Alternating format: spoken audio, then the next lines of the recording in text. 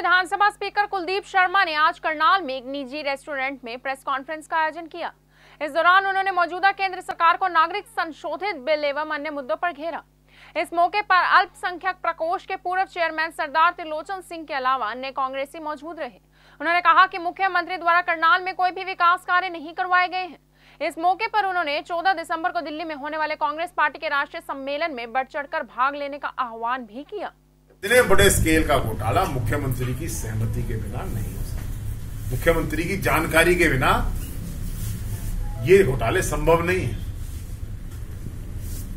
और मुख्यमंत्री को जानकारी है तो मुख्यमंत्री इस बारे में, ईमानदार मुख्यमंत्री इस बारे में अपनी ईमानदारी का सबूत क्यों नहीं दे रहे? ये क्यों नहीं कह रहे? चलो, हरियाणा सरकार क्यों छोड़िए। केंद्र से हम सीबीआई से इसकी इन्वेस्टिगेशन इतना बड़ा घोटाला है। तो मैं सीधा सीधा आरोप लगा रहा हूँ कि मुख्यमंत्री की जानकारी के बिना यह घोटाला संभव नहीं ये उच्च की उच्च की, इसकी उच्च स्तरीय जाँच होनी चाहिए थी। ये वहीं से है सारे मिली भगत।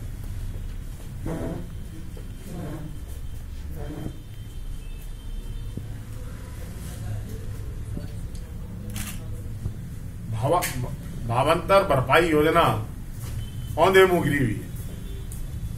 कोई लाभ नहीं हुआ किसान तो ये एग्रीकल्चर सेक्टर की बात है। देश में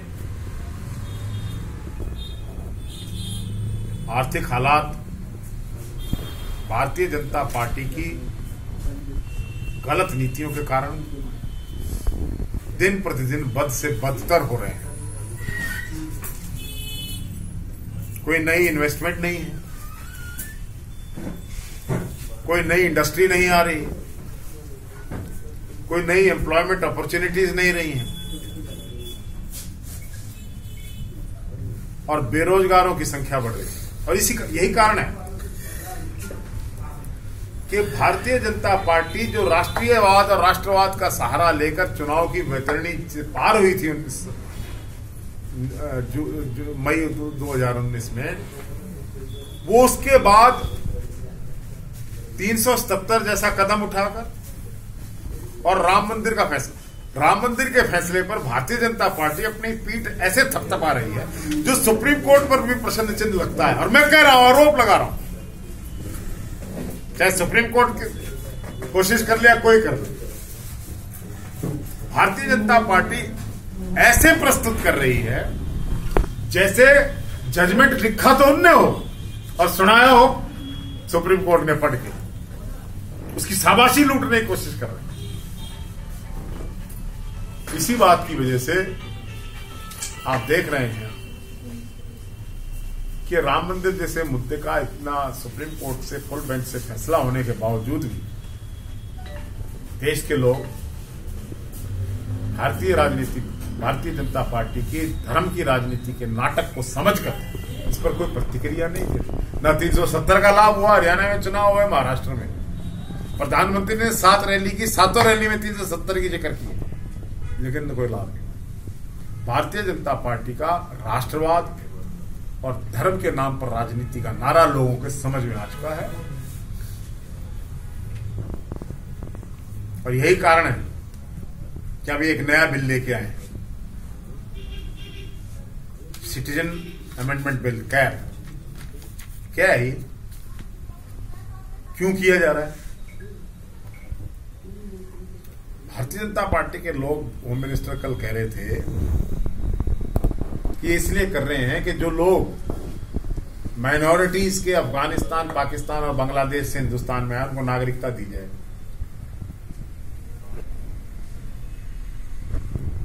लेकिन इसके पीछे खेल दूसरा है। इसके पीछे खेल है लोगों को आपस में बांटने की, राजनीति को कंटिन्यूटी देने का, उसको निरंतरता देने का खेल है। ये कभी भी भारत के संविधान के अनुसार नहीं हो सकता। जब भी कोर्ट में चैलेंज होगा सीएबी औंधे मुँह गिरेगा। मैं समझता हूँ कि इतिहास के साथ अगर तो किसी प्रकार की तोड़ मरोड़ की गई है ये सर्वथा अनुचित है। किसी भी व्यक्तित्व का व्यक्ति का जाति विशेष इतिहास के माध्यम से इतिहास को तोड़ मरोड़ कर चेहरा विकृत करने की कोशिश करता है तो मैं उसका विरोध भी करता हूँ। जिस प्रकार से पानीपत फ़िल्म के अंदर इतिहास के साथ छेड़छाड़ करने की कोशिश की जिन लोगों में रोष है उनके रोष को समझते हुए सरकार को इस पर तुरंत कार्रवाई अठानवे लाख का।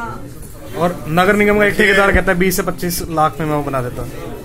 मुझे तो इस बात को सुनकर बड़ी खुशी हुई। कि कनाल में गीता द्वार बना है। मुझे इस बात को सुनकर और भी ज़्यादा खुशी हुई कि मुख्यमंत्री गेट जेब में गीता रखते मिनी मिनी गीता रखते कहा उनका बयान है। लेकिन उस गीता में लिखा क्या है, उसको पढ़ने की भी जहमत रखी। गीता कहती है कि सच बोलना चाहिए। ये सरकार और मुख्यमंत्री जी कब सच बोलना शुरू करेंगे? मुझे इस बात की इंतज़ार है। थैंक यू बयासी से लेकर अब तक मेरे को मिलता रहा। चुनाव के दौरान भी आपने जितना सहयोग मेरे को दे सकते उससे ज़्यादा दिया। मैं उसका धन्यवाद करता हूँ। और पहली जनवरी से 2020 से मैं एक संघर्ष शुरू करना जा रहा हूँ करनाल के लोगों के लिए, करनाल के मतदाताओं के लिए। हमारे साथ जो मौजूदा मुख्यमंत्री ने घोषणाएँ की, वो पूरा नहीं उतर पाए। उनको लेकर पहली जनवरी से ही मैं संघर्ष शुरू करूँगा। मैं उम्मीद करता हूँ आपका सहयोग मिलता रहेगा। हमारे बीच में कुलदीप शर्मा जी हैं। इनको नहीं जानते अगर कोई नरेंद्र सांगवान जी, जो हमारे एम एल ए रहे उनके भाई हैं, पंकज दुनिया जी को सब जानते हो। हरिराम साबा जी को जानते हो। अशोक राणा जी यहाँ थे। और JBD Banquets लाए हैं। incredible marriage palace Rajgharana and the finest banquet hall Jyoti Garden. World class catering, centrally air conditioned, lush green lawns, state of the art lighting. A perfect venue for wedding, launching and parties. Rajgharana and Jyoti Garden at JBD Banquets Enterprise.